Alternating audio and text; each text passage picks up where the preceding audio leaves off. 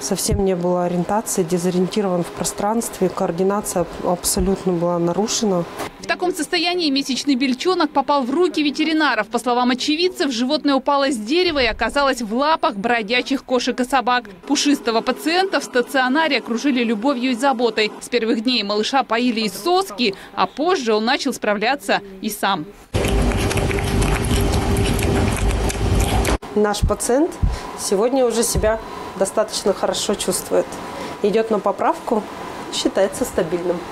Правда, жить в естественной среде он больше не сможет. Теперь бельчонок скорее не дикий, а домашний зверек. Обживаться на новом месте готовится и пес по кличке Эрни. Осталось найти ему добрых хозяев. Сильно в пожаре пострадала роговица глаз. Поступил он к нам в состоянии средней тяжести. Было тяжелое отравление у него продуктами горения. Эрни пострадал в лесном пожаре в Тюменском районе. Сильно обгорела шерсть, морда, ротовая полость и подушечки лап. Пес вышел за помощью к людям прямо из огня. Ветеринары уверены, собака домашняя. Правда, прежние хозяева Эрни до сих пор не откликнулись.